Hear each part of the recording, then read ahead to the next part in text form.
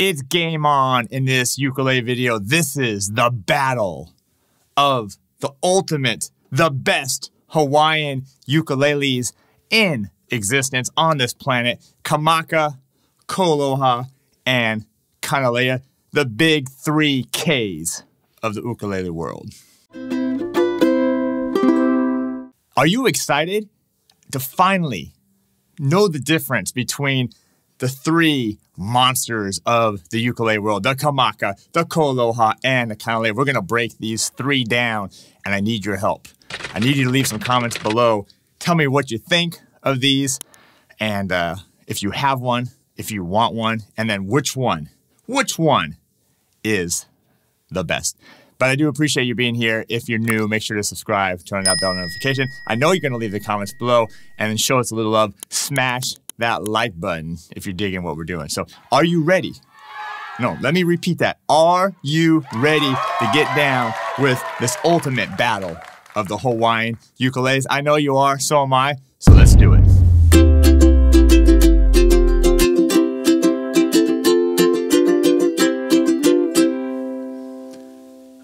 Mm, this is mm, this is so exciting. Now, all these, the Kamaka, that's right, the Kamaka and the KoAloha, the Kanile'a, they're all available for you at one place. The number one store, that's ukelikethepros.com. It's actually store.ukelikethepros.com. Ukelikethepros.com is my instructional site. I'll talk to you about that later, but store.ukelikethepros.com. And I'm going to start with the Kamaka out of respect for a company that's been in business for so long. Over a hundred years making ukuleles. That is absolutely incredible. Now, let me just tell you a little bit about this this competition here. All three of these are the standard models of the Hawaiian version. So this Kamaka here, all right, the HF3, HF3. Uh, this is just their classic Koa tenor. We have the KoAloha KTM 00. That's their standard Koa tenor as well. And then we have the Kanile'a K1T, their standard Koa tenor as well. All right, so we're going to keep it real even. Now, the only thing to keep in mind is that the strings are different on each one of these. The Kamaka has high G, the Kanile'a has high G, and the KoAloha does as well. So, are you ready? Are you ready? Let's dive into. We're going to start here with this Kamaka.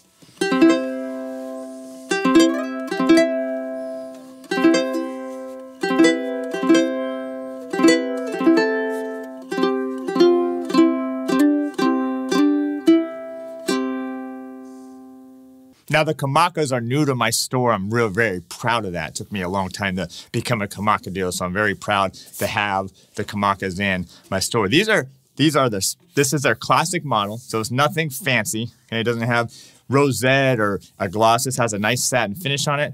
These are made in Hawaii. Been making in Hawaii ukulele since 1916. Is that incredible? 1916. Um, solid koa, sides, and back. And this is a tenor, as I mentioned, so you do have 17 inch scale length, just slightly over 17 inches. They have the just slightly under inch and a half nut width, but then I mean just the classic, classic Kamaka. And then these particular ones have the rosewood. Okay. Kamaka does do other ones as well. So they have a little bit, each one steps up a little bit in wood. You changes some gloss. It has a little bit nicer figured koa. You can get into the, the ebony and stuff like that. But I wanted to, like I said, play evenly for this particular one. Don't worry, we're to play all three of them together back to back. But this one, this is a Kamaka, the HF3. Just by holding it and playing it, it's just incredible. I mean, mm, Kamaka yeah, like what they're doing here. So anyway, let me grab another one. Let me take you out a little bit more with this one, and then we'll grab another one.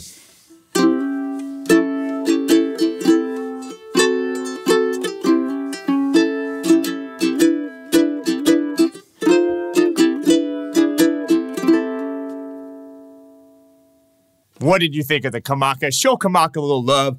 Leave a comment below or smash that like button right now. All right, next up, the Koaloha KTM 00. Goosebumps. Mm.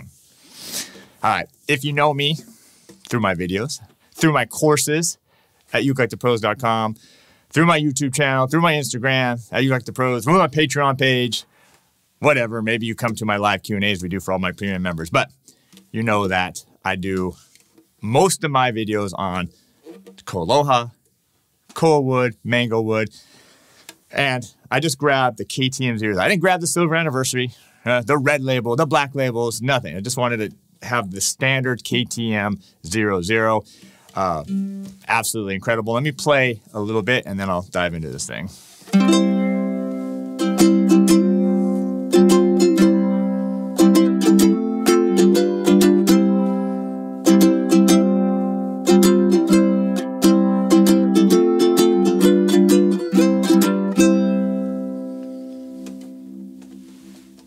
Do you already hear a difference between a KoAloha and a Kamaka? If you do, leave that comment below. All right, this is made in Hawaii, 25 years making ukuleles.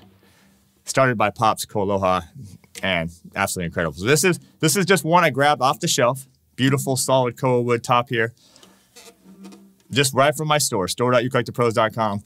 I didn't play through them. I didn't try to get the best one with the wood. I just literally had a bunch. I grabbed this one because I was like, that one has a cool name. What is the name of it? Wipeout. we do name all the ukuleles at store.ukelikethepros.com.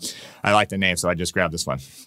All right, tenor size as well, gloss finish, but still pretty plain, right? Not no no rosette, no binding, anything like that. Just solid koa, made in Hawaii. Tenor scaling, 17 inches. Now this one does have about the same nut width, just under inch and a half. You do, of course, have the Koaloha crown here on this one. Now, this one has the ebony fretboard as opposed to the Kamaka, which has the rosewood. Okay. This one also has the low G, unwound low G on it. All right. Do you have a Koaloha? Which one? let me know. All right, let me do some playing on this one.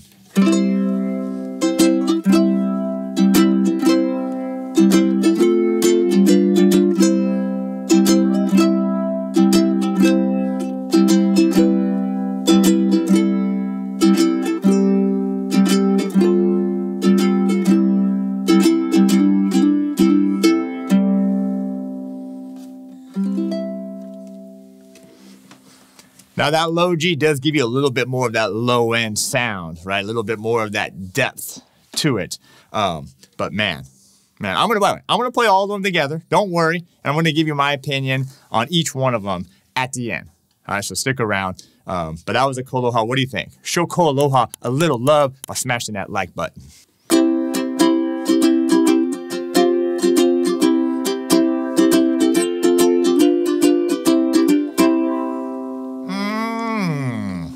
Oh yeah, you knew it was coming next to Kanile'a. This is a K1T. Now I did grab a premium one.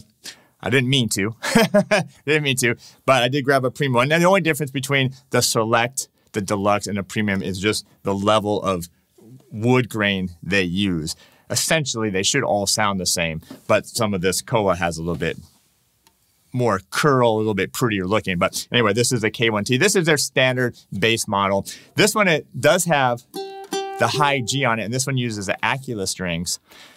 The Kamaka uses a Kamaka black nylon string, so Koaloha uses their Koaloha fluorocarbon string. So all different strings, and these are the Aquila Nylgut strings on this one. All right. Been in business, Koalo, Kanile'a, excuse me.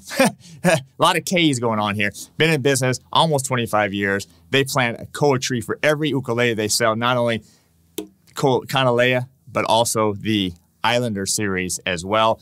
Great company, great people, great people. Do a lot with them as well. So uh, it's an honor to have them as well at my store, store.ukelikethepros.com. All right, all solid koa wood. Like I mentioned, this one is a premium, made in Hawaii. This one, though, is, is still pretty plain as far as, again, no rosette, no binding on this one. This one just does have a lot of curl on it. Now, this does have the, the gloss finish on this particular one. This again is a tenor. Uh, it does have the 17 inch scale length as well.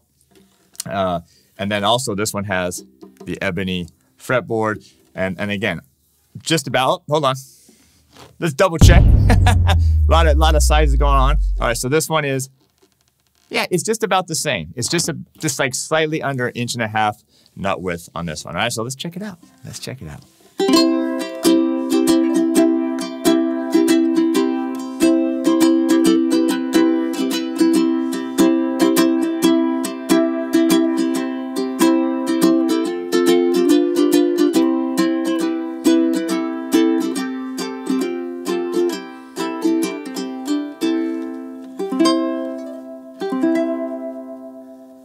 All right, what did you think? Show Kanile'a a little love by leaving a comment and smashing that like button. All right, are you ready? Are you ready? We're gonna do the back-to-back playing now. I'm gonna play the same piece on all three instruments, and we're gonna splice in and out of all of them so you can really now hear the difference. Back to back to back. I already know what they all sound like. I'm so familiar with these brands, but I want you to hear the difference between the Kamaka, the KoAloha, and the Kanile'a. And by the way, that's the order we're gonna do. Kamaka, KoAloha, Kanile'a. Kamaka, KoAloha, Kanile'a. Are you ready to get in this? Come on now. Use those ears because I want you to leave a comment below of what you hear the difference and which one you like as well. And then I'm going to go over the results, or at least what I think at the end.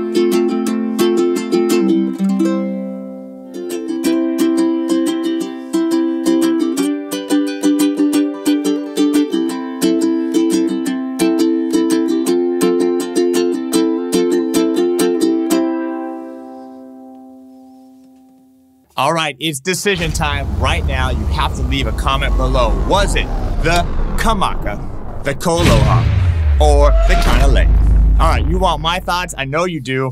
First of all, they're all amazing.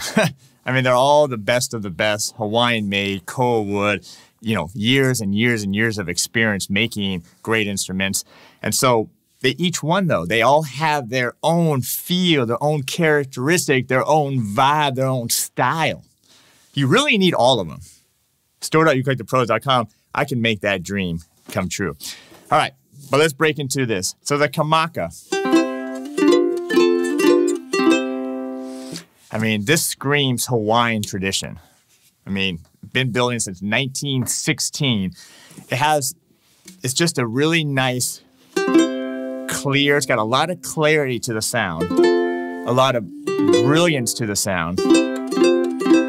Right, it's a nice tone. It's lush sounding. It's not too bassy. It's not too trebly. Okay, you do have the high G on it, and you do have the black nylon strings. But what I what I gather from this one is just is that clarity. You just hear these notes.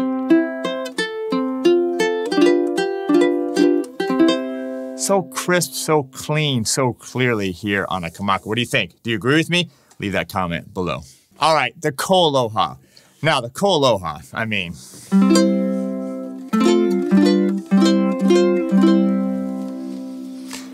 Okay, low G on this one, unwound low G. Here's KoAloha.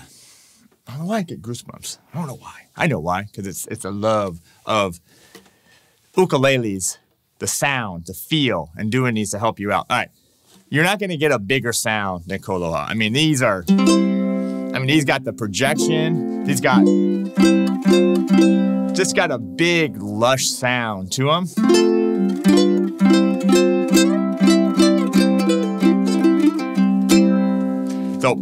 Big sound, really nice and warm. Okay, that low G, excuse me, does help with that sound, but just just really lush. I really like the KoAloha necks. It just feels really comfortable. Just really comfortable to play. Just the nice the the the roundness of the neck, and I don't know, it's just something about the feel. So for me, this the big sound. You want a big, bold, full sound, really nice and comfortable, easy to play. Bam, the KoAloha right here, KTM 00. What do you think? You agree with me on this? Leave that comment below. Now the Kanile'a. Oh, the Kanile'a. All right.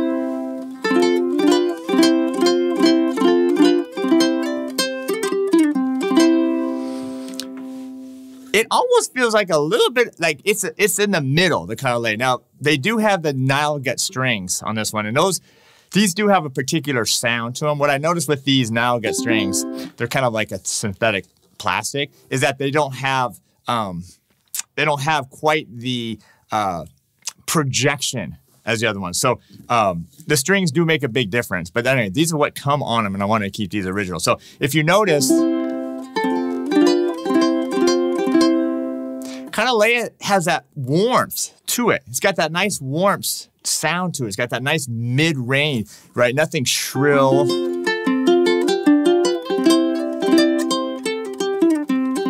Nothing shrill about it. It does have a high G, but it doesn't have that like full projection like the KoAloha does. Um, and it doesn't have that clarity as much as the Kamaka because again, when you get into that that warmth, that mid-range sound, it's not going to get that ear popping when you have like a little bit more of that high end, like the Kamaka has a little bit more of that clarity, right? So if you just notice, it's really a nice tight sound with the Kanile'a.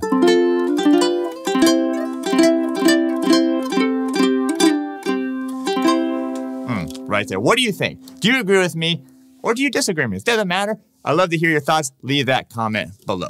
What did you think? It's such an honor to have all three of these brands, the Kamaka, the KoAloha, the Kanile'a. They're all available store.ukelikethepros.com. But I did this video for you so you can hear the difference. Which one should you get? All of them, of course. I've told you this. They all have their own style, their own characteristics. Until you have one, you get to play one, you get to hear them. You then you really get to dive in to which one you really prefer and love. But I guarantee you'll love them all because they all have their own vibe and style to them. So anyway, I'm glad you were here. Appreciate all the comments, smashing that like button, subscribing, and just just being interested in loving ukulele. Okay, if you want to connect with us more, you know how to do that. UkeLikeThePros.com for all your courses, the store, Patreon page, and over on Instagram, Uke Like the Pros. It's all Uke Like the Pros. you can't miss us, Uke Like the Pros. So anyway, thanks so much. Take care. Be safe, and we'll see you next time.